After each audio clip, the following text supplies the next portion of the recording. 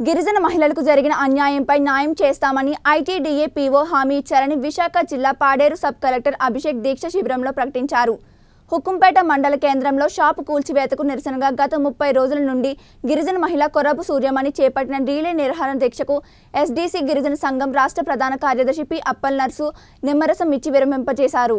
అనంతరం Paderu sub collector మాట్లాడుతూ shed తొలగించడం బాధాకరమని బాధితులకు గత ముప్పై రోజులుగా నిరాహార దీక్ష చేయడం ఐటీడీఏకు ప్రజలు మద్దతుగా రావడం జరిగిందని గిరిజన సంఘ నాయకులతో పీఓ ఐటీడీఏ అధికారులు సమస్యల పరిష్కారం కోసం చర్చించారని అయితే సర్వే చేసి ఆమె స్థలం అప్పగిస్తామని నష్టపరిహారం అధికారికంగా ఇవ్వడం సాధ్యం కాదని కానీ బాధితురాలు గిరిజనులు కావడంతో నష్టం వాటిల్లిందనే భావనతో హౌసింగ్ పథకంలో ఇల్లు మంజూరు చేస్తామని అన్నారు. అక్రమ నిర్మాణం చేసుకున్న గిరిజనేతరులు జాబితాలో ఫిర్యాదు చేస్తే ఎల్టీఆర్ కేసు నమోదు చేసి విచారణ నిర్వహిస్తామని అన్నారు.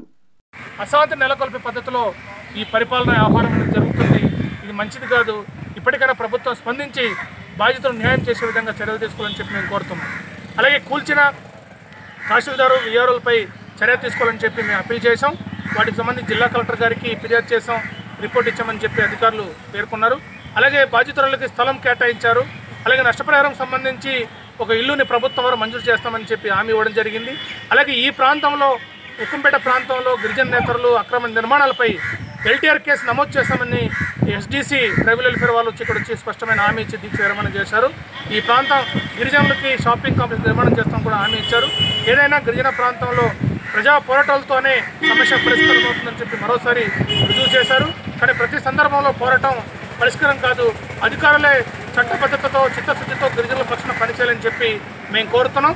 లేకపోతే భవిష్యత్తులో చాలా పెద్ద ఎత్తున ఆందోళన వస్తుందని చెప్పి ప్రభుత్వానికి హెచ్చరిక చేస్తాం విశాఖ జిల్లా ఉక్కంపేట మండలంలో గిరిజన మహిళ నిర్మించుకున్న ఇళ్ళను మండల తహసీల్దార్ గారు ధ్వంసం చేశారు.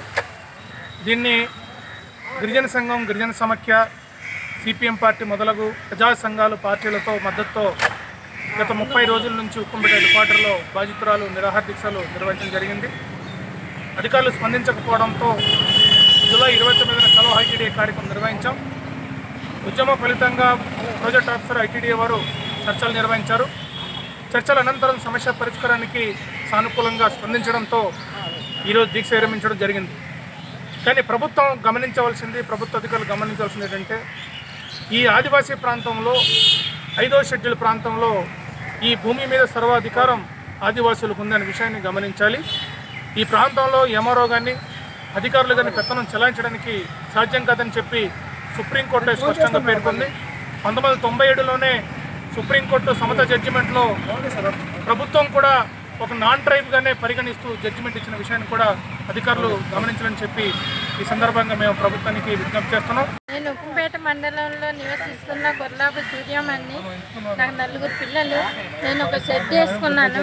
ఆ షెడ్ ఎంఆర్ఓ స్టా ఎంఆర్ఓ రెవెన్యూ అధికారులు కూర్చేశారు నేను వద్దు అని ఆడుకొని నేను ఎంత బాధపడ్డా అది ఫలితం లేకుండా వాళ్ళు నా మాట వినకుండా కూర్చేశారు కూల్చిన తర్వాత ఐటీడీఏ పిఓ గారు సొక్కల్ గారు వీళ్ళందరూ నాకు కూర్చేసిన దానికి నిరహద దీక్ష విరమించమని నాకు అడిగారు. అడిగిన తర్వాత నేను కొన్ని డిమాండ్స్ అడిగాను. అడిగిన తర్వాత వాళ్ళు ఒప్పుకున్నారు. నాకు ఇల్లు ఇస్తామన్నారు. తర్వాత నా పిల్లలకి చదువుకోవడానికి నేను నాకు వీలైనంత వరకు సహాయం చేస్తానన్నారు. ఆ తర్వాత నాకు నా ప్లేస్ నాకు కొలిసి ఇవ్వడం జరిగింది. తర్వాత ఏంటంటే నాకు న్యాయం చేస్తామన్నారు. న్యాయం చేస్తామన్నారు. అది మాట మార్చ మాత్రమే చెప్పారు. నాకు ఎటువంటి ఆధారం అంటే చూపించలేదు వాళ్ళు. కానీ నాకు ఇది న్యాయం జరుగుతుందని నేను దీక్ష విరమిస్తున్నాను. ఇది న్యాయం జరగకపోతే మళ్ళీ నేను దీక్ష కూర్చోడానికి కూడా పోరాడడానికి కూడా సిద్ధంగా ఉన్నానని మళ్ళీ నేను తెలియజేసుకుంటున్నాను.